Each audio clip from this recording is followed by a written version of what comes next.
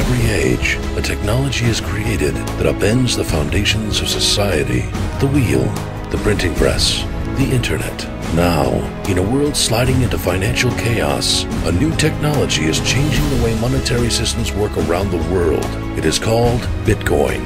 Bitcoin is a new form of money, controlled not by banks, governments, or corporations, but through mutual commerce between free individuals. To learn more, visit weusecoins.com.